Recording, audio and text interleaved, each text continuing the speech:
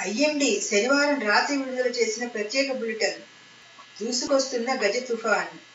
నెల్లూరుకు పదకొండు వందల ఎనభై కిలోమీటర్ల దూరంలో వాయుగుండం కేంద్రీకృతమైంది.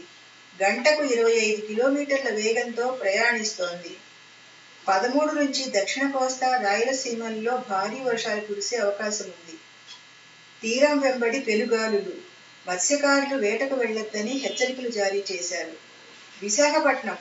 ఆగ్నేయ బంగాళాఖాతంలో మధ్య బంగాళాఖాతానికి ఆనుకుని కొనసాగుతున్న వాయుగుండం శనివారం సాయంత్రానికి తీవ్ర రూపం దాల్చనుంది.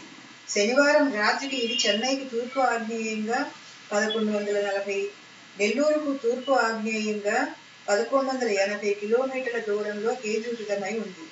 ఇది గంటకు ఇరవై ఐదు కిలోమీటర్ల వేగంతో పయనిస్తోంది.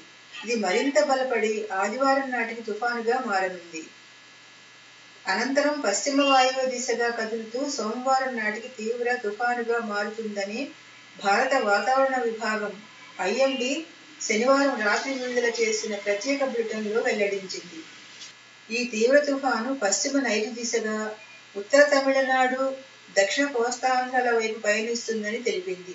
దీని ప్రభావంతో పదమూడవ తేదీ నుంచి దక్షిణ కోస్తాంధ్ర రాయలసీమల్లో కొన్ని చోట్ల ఒక మోస్తరు నుంచి భారీ వర్షాలు కురుస్తాయని పేర్కొంది. అదే సమయంలో సోమవారం నుంచి గంటకు తొంభై నుంచి నూట ముప్పై ఐదు కిలోమీటర్ల వేగంతో తీరం వెంబడి బలమైన గాలులు వీస్తాయని వివరించింది. సముద్రం అల్లకల్లోలంగా మారుతుందని మత్స్యకారులు చేపల వేటకు వెళ్ళవద్దని హెచ్చరించింది. ఇప్పటికే వేటలో ఉన్నవారు వెనక్కి రావాలని సూచించింది.